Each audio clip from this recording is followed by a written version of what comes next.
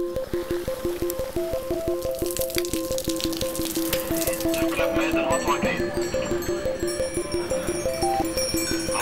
you.